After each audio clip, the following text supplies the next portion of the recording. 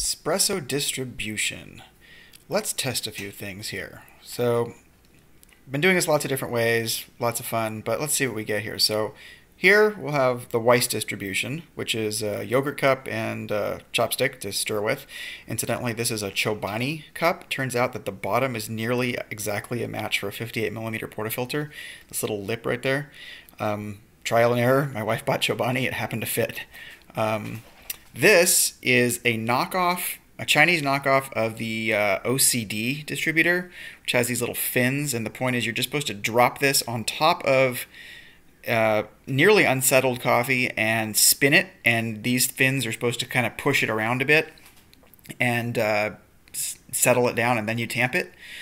Um, this is a tool that I made. I had 3D printed, which um, that little bar down there acts as a funnel and then um, you basically spin that bar around. It kind of acts a little bit the same as this, except it goes a little deeper into the coffee, and um, acts more like a Stockfleth uh, maneuver. Um, it just kind of automates it for you. Um, we're gonna use consistent, the same dose. We're gonna, it's gonna be uh, a 19 gram dose, and we're gonna try all three of these and see which one comes out better on a bottomless portafilter.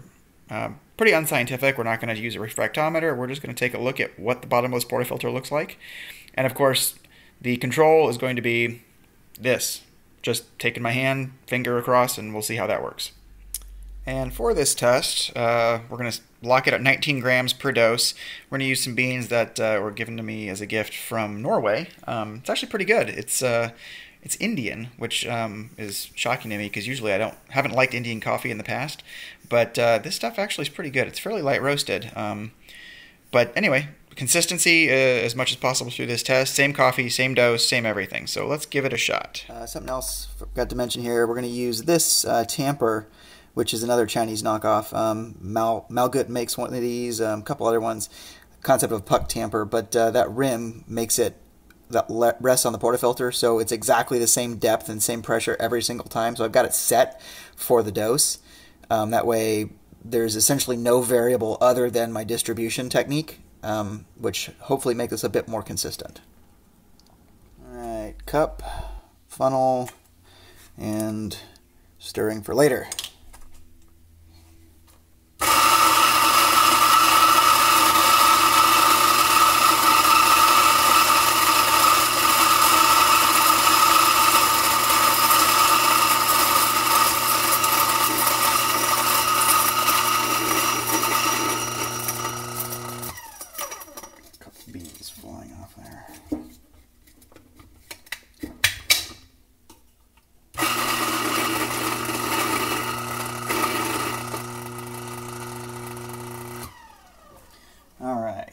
Let's uh, give this a stir.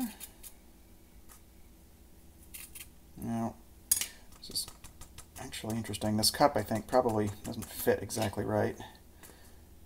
So let's that.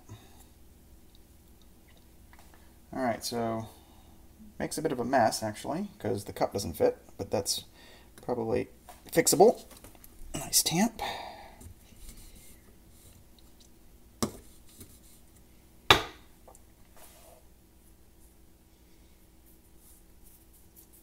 and the portafilter.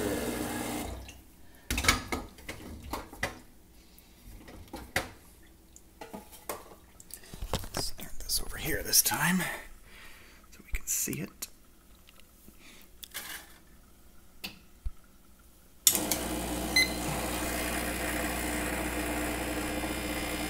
That comes together pretty much all at once. So that's uh, that's what you want, nice and even all the way through. It's not bleeding on the edges. Looks like it may be far back a little bit, but... Uh,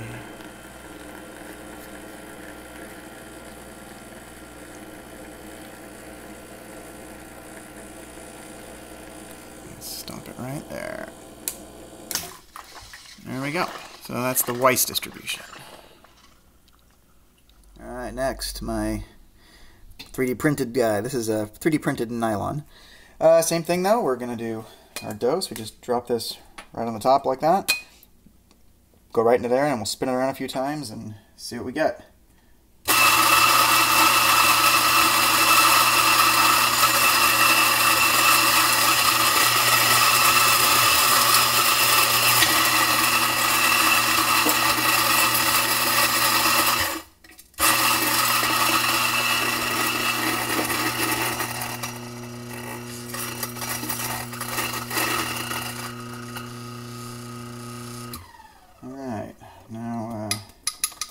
settle it. So I found it's real nice in there.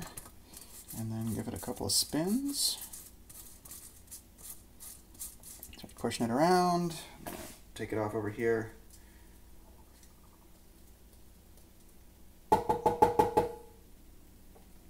And what we end up with is this, our little mound in there. It's not clean on top, but uh, fairly well pushed around. Give it a tamp.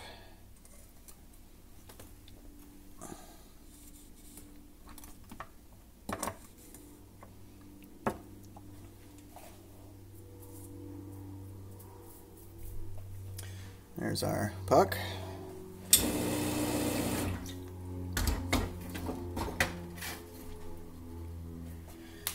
Alright, and again, what does the portafilter say?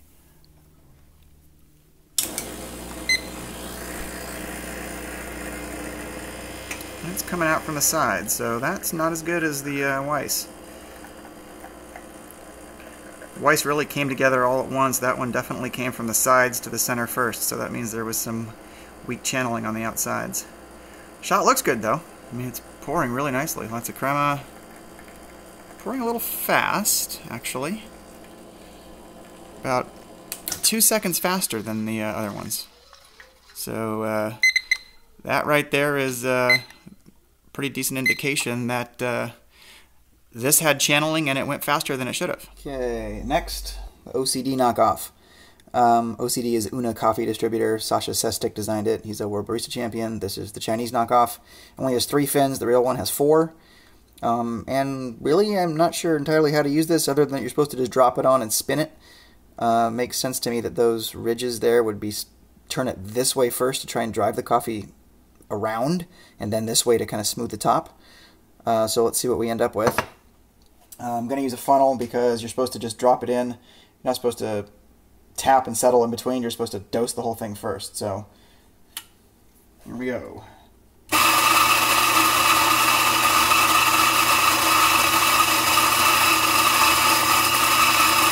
Before I end up with beans popping in a mess.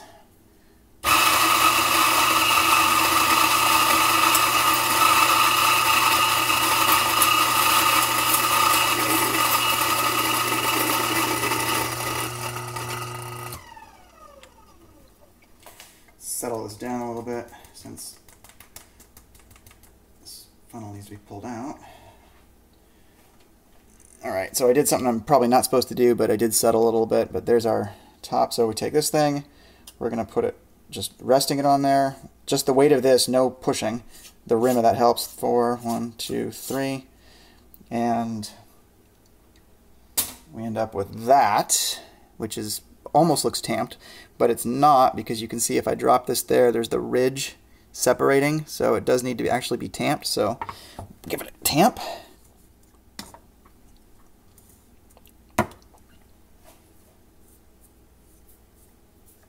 And let's see what we get.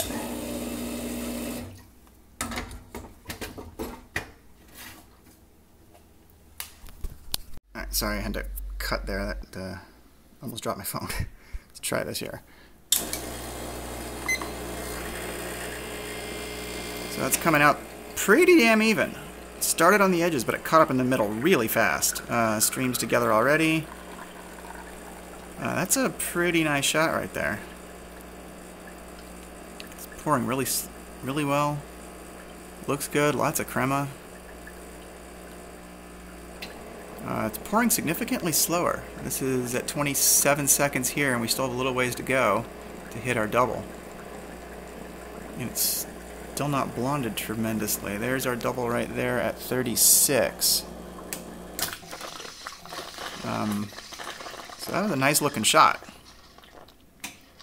Okay, finger strike. So what I've been doing for years. Um, basically dose about halfway, three taps, dose the rest of the way, smooth with the finger.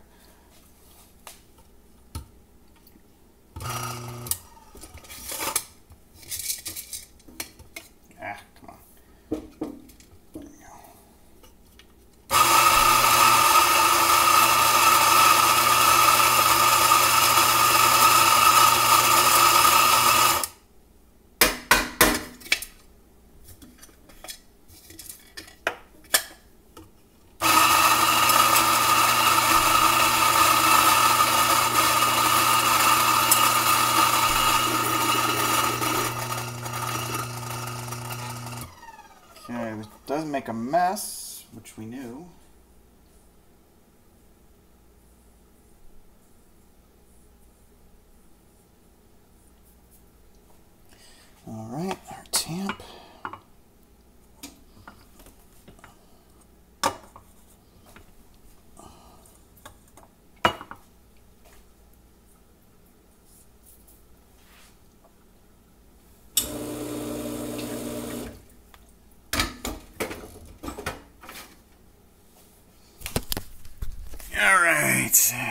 Go. Let's see what we got.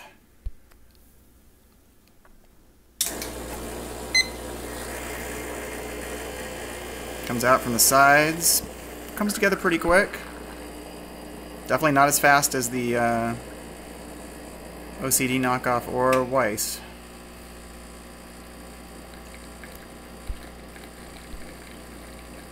And it's blonding really quick too, and it's pouring faster. Definitely faster. So uh, that was the worst of all of them. Um, it definitely poured too fast looks like there was channeling around the outside. Uh, blonded much quicker, and uh, yeah, that was the the worst shot. All right, so here we go. What did we learn? Um, finger strikes. Um, if you are an experienced barista and you've been doing it for your whole life, I'm sure it is quite accurate. You look at people on the internet, um, Chris Baca being one who is a proponent of that, saying he can he's just done it so much he knows what he's doing, and I buy it. Um, but of these three dis- these types of tools here, uh, this one definitely was probably the best, but only by a small margin over this one. Um, this requires more time.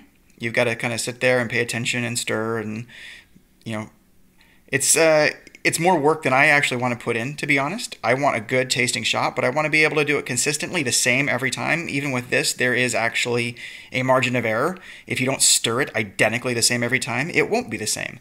This is pretty much going to be eh, consistent. As long as you weigh your dose and you measure it, it's going to be completely consistent. This just didn't work very well. Um, it's an interesting idea. Um, there is a tool that looks almost exactly like this that you can buy from uh, a place on the internet. I won't say the name, but you can get it. Um, it's stainless steel rather than 3D printed. Maybe it works a little bit differently. Uh, for what I'm after, this one's the clear winner. Um, it provides me consistency, it provides me speed, and I can get up and out and do what I'm doing in the morning and not have to spend a tremendous amount of time to get a very, very, very good shot of espresso.